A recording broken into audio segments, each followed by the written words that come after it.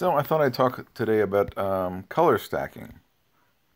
Uh, color stacking is uh, one of the finer points of combat in Empires and Puzzles that, frankly, I did not understand uh, in the early going. Um, but in fact, it's incredibly useful. In fact, really, it's the key to success in combat.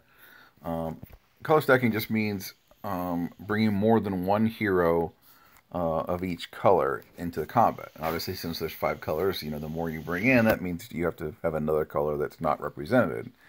And whenever those um, colors are not represented, that when the tiles go up to hit, they do no damage, or they do one damage. Um, but uh, when you color stack, what it's actually doing is it's adding the attack power of your heroes together. So if you look on a particular hero, like here's Caedmon, his attack power is 650, looking at the little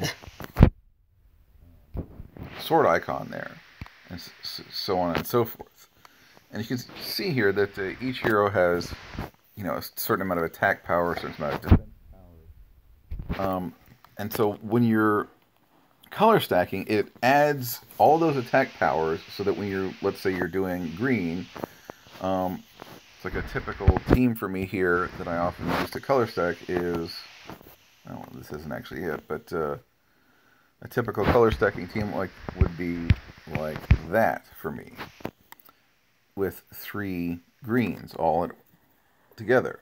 So you're stacking all three of those at the same time. And so what happens is when you hit with green, particularly against the color that they do the most damage against, um, it's just incredibly devastating. Um, so, you know, I could show this to you in um, PvE, you know, playing against different, uh, uh, one of the levels here, but PvE is kind of, PvP is kind of really where it makes the biggest difference. Uh, say in war, like my alliance is currently in the midst of a war, which is eh, about even there so far. But, uh, ooh, look, I'm alive. I'm one of the few that are still alive. Interesting. But anyway, we'll do this in some raids just so we can show you what it looks like.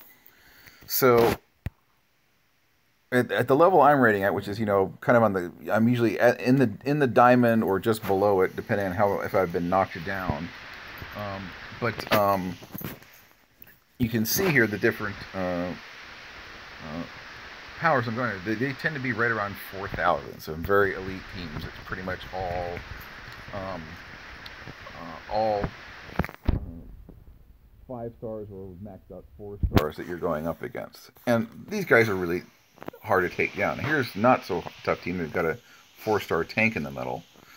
But I'll show you an example here. This is a um, typical team that I take for, because I can stack gold very strong um, against a purple tank in the middle. Um, so watch what happens when I go against him. And obviously, the danger here is that you'll start at a battle and you won't have any of the tiles in the color that you want in the middle. And it happens. Um, here it is. I actually start out pretty well. I actually have a decent representation of yellow.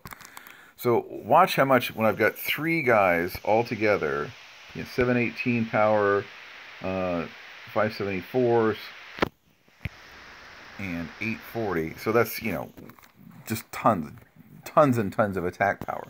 So what happens when we hit this purple tank with color stacked with the correct uh, oppositional? And of course, if you don't know, you can always click here in the upper left-hand corner and see what color does the most damage against what other color. But look at this. This won't kill him, but um, I know from having fought battles like this that I typically need a total of six yellow tiles to kill him. Just six. You can see there that actually got him down more than halfway. Now here's the challenge. I don't have uh, another connection, but the idea is with uh, color stacking, you're usually going color stacking against the tank. So I just keep hitting that tank, just trying to clear out uh, these things until boom, I get one, and boom, look at that. It just takes them out. So that's the benefit of color stacking. Um, and I'll just finish this up real quick here. Um, is that when you color stack, it is much more, you're much more board dependent, which is to say that you are relying upon the board uh, much more than if you had a balanced team.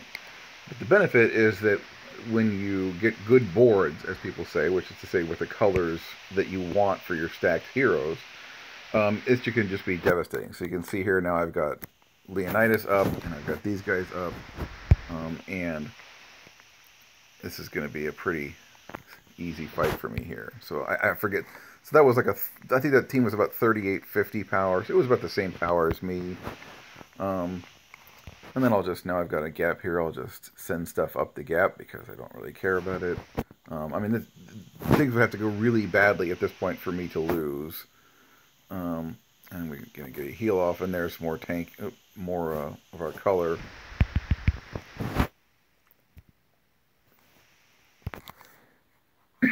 Excuse me. And uh, so here we go. Oh. So he's going down. It's just a matter of time. But so you can see the benefit of color stacking. It really is the way to go. Um, and sometimes you will get unlucky and you will just not get that anything in the color that you want in the in the middle, and and it stinks. But obviously, the extent to which you do it, um, how far you color stack depends on um, how much risk you're taking. So like here's here's a color, you know, a four hero color stack. This is the one I use. I'm currently using against a Titan. We have a blue Titan um, that we're fighting. And so, let's see if I've actually got a... Uh, uh, no, I don't have a uh, power up for the Titan right now. But you can see there. So it's very risky in um, attacking him. Uh, something like that because if you if you fare poorly and you don't get any good green combinations, things can go very, very bad for you. Uh, but if you do get those combinations, it can go pretty well. So I'll give you an example. So you can even do a mild color stack. So I'll tell you, like, here's one that I use a lot. Um, uh, is stacking like that with just two color stack. Um, just having like that extra pop on that one power can really be beneficial um, but you're not really taking much of a risk because you've only got one um, color that you're not using, um, which in this case is red. Uh, and I tend to do this without red a lot just because looking at my, my team, you know, I don't have a five-star red. It's the one color I do not have a, a five-star of, five-star hero. Um, and so um, I tend to not use, and the one that I do have, the highest ascension is... Uh, this guy with a slow, uh, slow mana speed. I tend not to take slow mana speed people into combat PvP just because it's detrimental. Um, but obviously you can see, so you kind of have to work it according to your team, your heroes that you have, um, and uh, you know just look at your overall team and see what what you can stack very well, what you can't stack very well.